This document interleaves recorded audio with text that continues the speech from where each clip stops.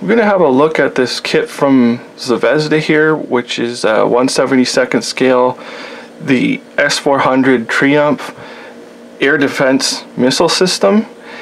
They refer to it on the box as the SA-21 Growler, but I mean, I don't know anybody who refers to it as the SA-21. Like, maybe in an old book on Soviet vehicles or something you might find that, but everybody refers to it as the S-400. It's the only way I know the vehicle. So we'll have a look here and you can see our nice box art here. And then we have our Tamiya and Zvezda paints and it shows our uh, decal sheet here. And our kit number is going to be 5068. They show us some other vehicles here, the Iskander system and some, oh, okay, these are both 72nd scale. The T-90 and the Armata, like, troop carrier vehicle. And then we have the system here with a bunch of history on the vehicle. It shows us some of our little features here and details. And the little QR code here. So I'm going to open it up. Might take a second because these Zvezda boxes always have that little inner inner box to them. So move this out of the way and we'll have a look first at the instructions. So again, we get our little bit of history on the vehicle and then uh, I guess our options are just pretty much either have it deployed or in transport mode.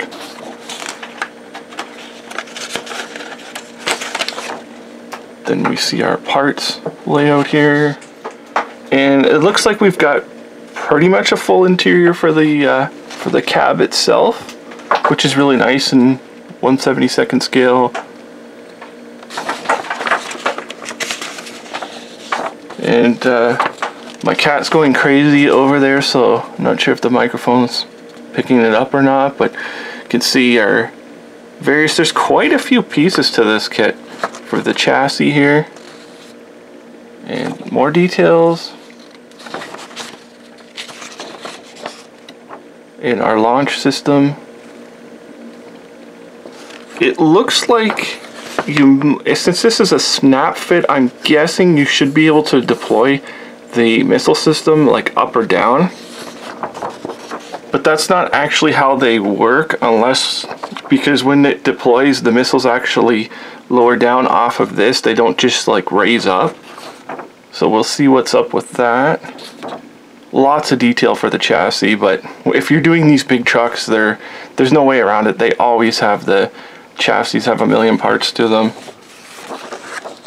And here's our missile system, so I'm not seeing any actual missiles in there.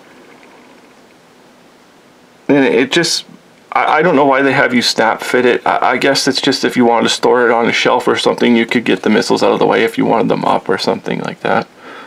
And here's our wheels. So we will have a look and see what the plastic looks like. Which is our Zvezda crunchy bags, I will open uh, open the bags up and pull them out. Everything seems to be in one in one large bag.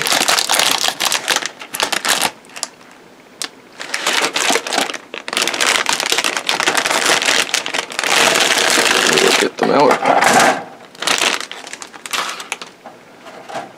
And it looks like our missile tubes are actually quite large. They must just be massive in real life. You can see the details on them. So there's no actual missile and it's not like you could have the uh, the caps off of them. I don't know if when they fire the, I think the caps are on them when they actually do fire so you wouldn't see them anyways. Here's our wheel hubs, quite detailed for the wheel hubs there. You can see the details on the, the missiles here. And that's just a duplicate sprue. Yeah, so they've put a massive amount of detail like on this flooring plate here in our cab doors. Can't have them open, not really a big deal. And the various, uh, like the grill here. Very fine little details. We'll flip it around. Nothing really on this side. It's hard to say if there's much detail inside, if that's, uh, that's like the front window there. And here's the chassis. It's fairly well detailed considering the scale. And then we just have one more sprue. You have your engine, full engine here. Some roping or cables. Various pieces. A lot of pieces for a very small vehicle. And it looks like the detail is there. Like there's no seat belts or anything on the seats, but I would say you must be able to see quite a bit in that cab with all the windows that are there. So those could use a little detailing. Then our wheels. Looks like unfortunately they're solid rubber wheels which I really dislike. This would be a candidate for resin wheels definitely, if I can find them. There's not really any sidewall detail. The tread is there, and they'd be usable if you can't get anything else, but I really hate solid rubber wheels. They, they tend to crack, and they also melt to stuff. So I really dislike them, but kind of... Uh, kind of is what it is. Like you can't really do anything about it. Some model companies use that and some don't, which I'm happy about. And here's our glass. Glass is, for 72nd scale, it's sort of thick, but not really a big deal because what can you really do? But it looks very clear. Very well done glass. And we have I'm guessing our side view mirrors here. It's actually in foil and lots of decals here. So they look alright. Duplicate uh, wheels. Then we have our paint guide here. And so it does have uh, actual vehicle here from Sevastopol in Crimea which is a nice looking vehicle. And on the other side we get a couple, we get the parade vehicle, which they always seem to include the parade vehicles. I don't really know anybody who just exclusively does parade vehicles, but they always put them in every like kit of a Soviet or Russian vehicle. They always put the parade vehicles in there. Um, I'm guessing it's because the only ones that have color, like with the uh, um, the, the St. George ribbon in that on it. So, but here's another one which is quite nice with the camouflage on it, and it's another one from Sevastopol, and uh, you can see the nice camouflage on that one.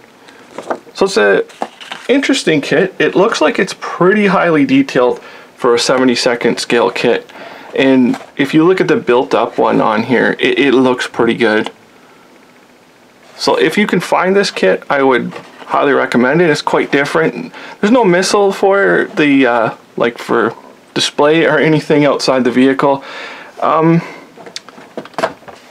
yes, so they are deployed on the ground properly, so you can have this set up as uh, like if it's in firing mode. So anyways, um, it's a recommended kit and it's nice looking vehicle. It's pretty much other than the 135th scale Trumpeter kit, it's all you're really going to get as a, you know, in terms of an S400. So other than that, thank you for watching.